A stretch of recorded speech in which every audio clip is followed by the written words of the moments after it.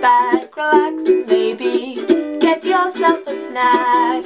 Me and you gonna have a little chat about books.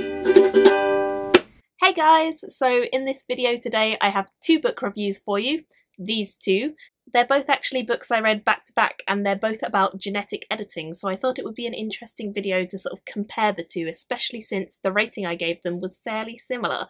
So let's talk about each of these. So the first book I have to talk about is this one, Change Agent by Daniel Saraz, or Serez. This is a story all about a man called Ken who works for Interpol. He has been working with them for a fairly long time and his main job has been writing code so that you can find illegal genetic scientific labs.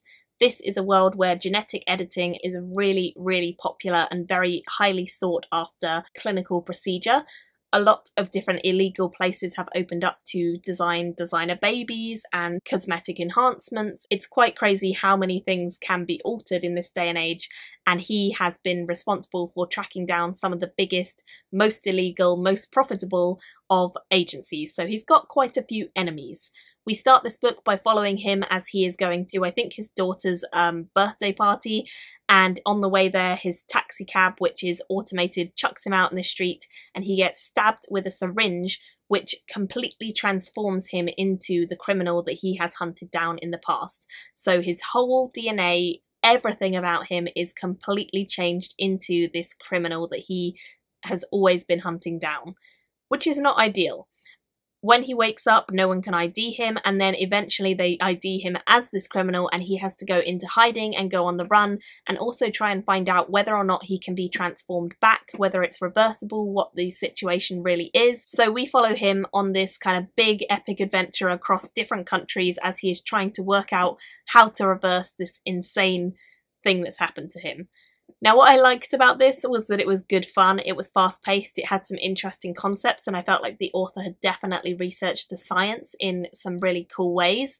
Some of the ideas in this were definitely really, really well put together and thought out, but equally, it did feel like a lot of the actual plot line rather than the science felt a little bit thrown together. Some things were very convenient, some things were a bit unbelievable. It's all a little bit like a spy film or an action film rather than a sort of believable adventure. So it does have its weaknesses, but it's a fun story. I enjoyed it a lot and I ended up giving it a 3.5 stars. So I would love to hear if you guys have read anything else by this author. I hear from a couple people that they have and that they think he writes quite interesting science related books. So if you have other recommendations that sound similar or are by this author, then do let me know because I would be interested in possibly picking up more. Moving on to actually one of the books that I read for the Wellcome Book Prize. I don't usually review them because I do a live show with Eleanor talking about them, but I felt like I wanted to review this one because I enjoyed it and I thought it was a really interesting concept, and that is Perfect People by Peter James first Peter James book I've ever read. He seems to write mostly thrillers and sort of crime thrillers, but this isn't quite that. This follows a young couple, John and Naomi Klaesson, who are grieving the death of their son. He died from this very, very rare genetic illness that he had, and it was a really horrible illness that was kind of inevitable because of their genes. They didn't know it when they obviously gave birth to him, but because they both had this same gene, they gave their son this very rare genetic disorder, and he eventually died in a horrible, very painful way. So they're grieving over the loss of him, and they've heard about this genetic clinic which is run by Dr. Leo Dettore, and apparently this guy is incredibly sort of eccentric and famous in the scientific world. Um, the husband of this couple, John, he's actually a scientist, so he's done a lot of research into this doctor and he believes that he has the ability to do what he says, which is to design designer babies. He is able to manipulate the genomes and manipulate the DNA to give this baby whatever it is that they think you will need to get ahead in life. So the couple go and they decide that they will get edited and they do end up pregnant and they do end up having a baby, but it is not at all what they expect. And it turns out that this doctor may well have had an agenda entirely his own, which they did not know about, and they then cannot find him after that at all. So it's a pretty interesting concept and it has definitely got thriller elements to it. There is a sort of crime involvement from a cult who are after the designer babies To be honest, I could have dropped that bit. I wasn't hugely interested in the cult religious crazies that were put into the book. I feel like they were there for drama more than plot.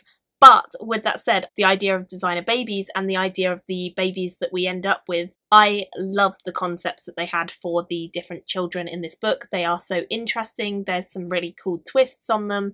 There's some really disturbing moments like these children because they've been altered is it right to alter them is it not right to alter them what is the real reason for altering them is it justifiable there's so many questions that I'd never thought of before before reading this and I think this book raised an awful lot of questions an awful lot of queries and want to go and find out more like I didn't know an awful lot about gene editing before I read this I still don't I mean it's fiction but it made me curious. It made me really want to know how close we are to this being possible. Is it possible now? I don't know, but I'm curious about it. And I feel like the two children that we focus in on predominantly in this book really fascinated me. They had some very sinister sides. They were creepy. They were fascinating and intelligent and brilliant and very weird as well. So there's a lot that happens in this book, and we also see it from the parent point of view, which I liked a lot too it was just very well done. It's quite a hefty book, and to be honest, I think if we'd cut out the religious cult drama, then it would have been a better book. But with that said, I really enjoyed it. I found myself easily wanting to read this and know more and know what was going to happen next. So again, I gave this a 3.5. It was close to 4, not quite, but it was close. So those are my reviews of those two books, both about gene editing. I'd love to hear which one appeals more to you. They both have a kind of thriller element, they both have a science element, they both have an interesting plot. I don't know, I want to know more about genetics now, I'm so intrigued. So yeah, let me know in the comments which one appeals to you, and let me know if you have any other recommendations that are similar or something that might be in the same vein. Thank you all for watching and I'll see you very soon in my next video. Bye guys! Thank you for my video today. Go pick up a book, then come back and chat with me again.